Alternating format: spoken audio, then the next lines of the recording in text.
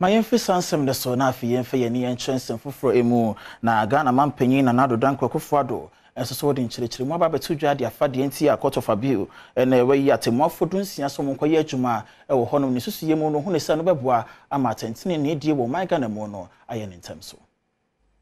ghana mampanyin nana dankwa akufo addo ɛrekasa wɔ berɛ a court of appeal judges dunsia ɛsɔ afena mu sɔ ayɛ ɛna wɔde to dwa sɛ tena a wɔtere court of appeal judgefoɔ no dodoɔ mu no ɛbɛboa paa ama nsɛm a yɛ ana abu so wɔ court no watumi ahwɛ no aka awie ntɛm One of the key challenges we face is the need to address the backlog of cases that continue to burden our courts. Justice delayed, as we know, is justice denied. It is imperative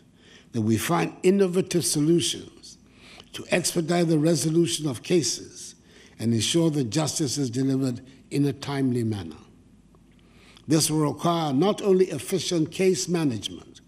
but also the adoption of new technologies and practices that can stream our judicial processes. The significant expansion of the personnel of the Court of Appeal, occasioned by the appointment of this six, these 16 new justices of appeal, is a direct response to the challenge of an overburdened court system.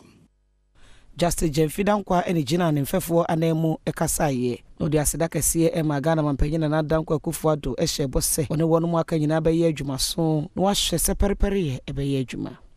On my own behalf and on behalf of my brothers and sisters who have been appointed to the Court of Appeal bench today, we wish to thank the Almighty God for making today's ceremony a successful and memorable one. We express our immeasurable gratitude, appreciation, and sincere thanks